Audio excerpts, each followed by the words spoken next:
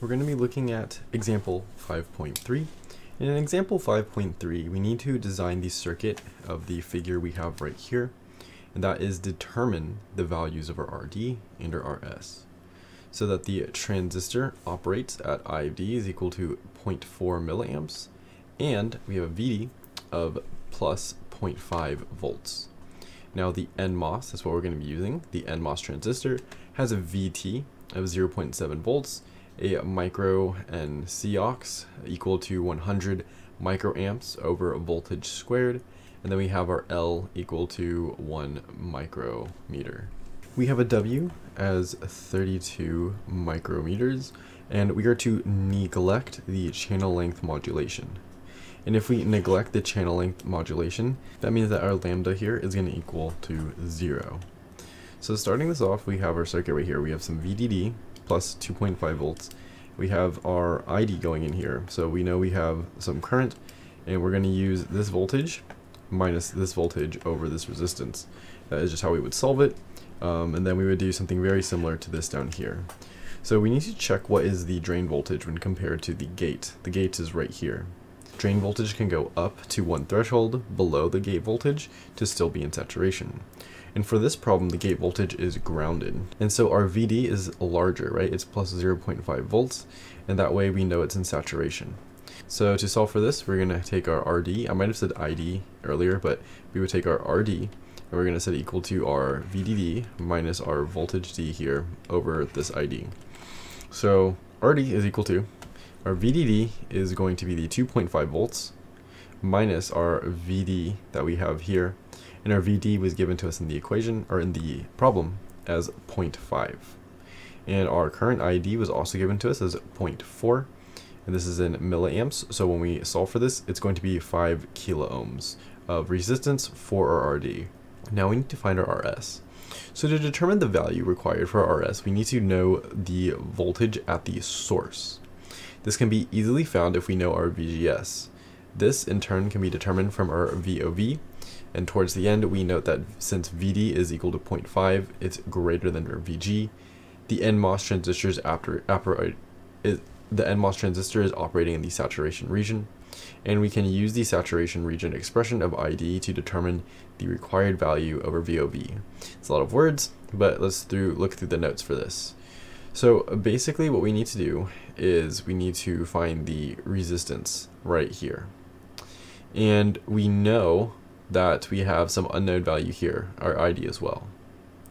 Well, we could use this, what we have here from the gate, and we have this down here, solve for it.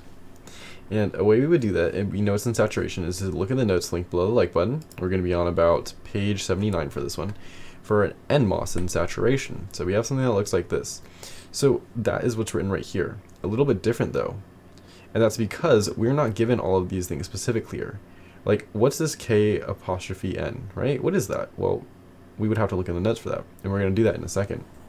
But for our VGS minus our VM, or VTN, that's what that is, we can also look in the notes for that. We know that VGS minus our VM is equal to our VOV, or the overdrive voltage.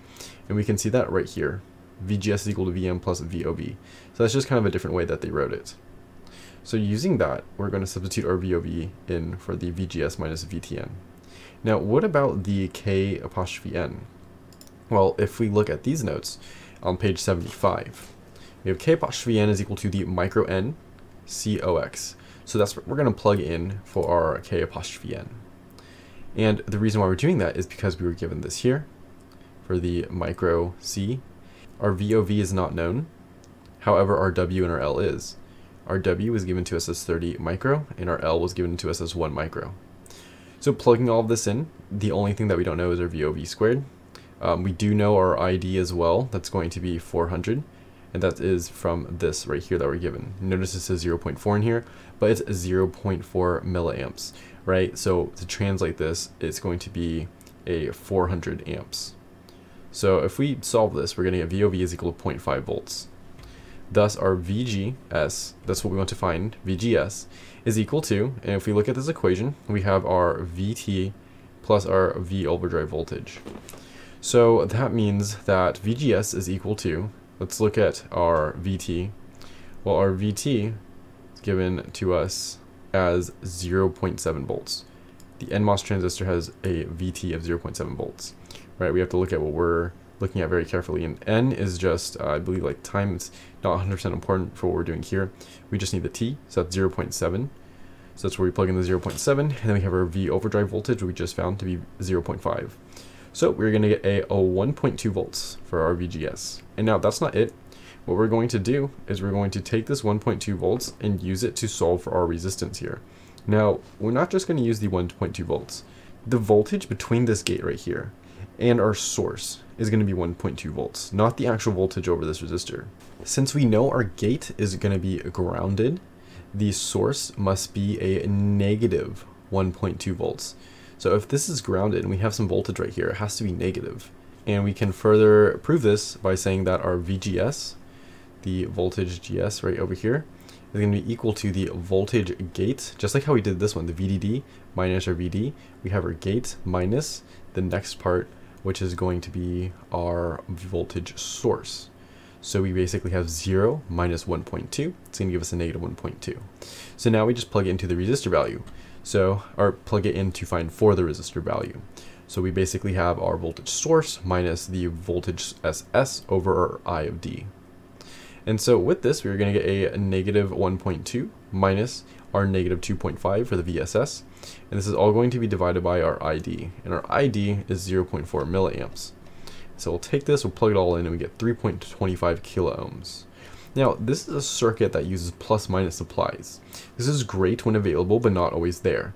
So in the next example, it's going to be in the playlist linked below the like button in the description. We are going to, instead of bias the gate at ground, we're going to bias the gate between a voltage and between the plus minus supplies.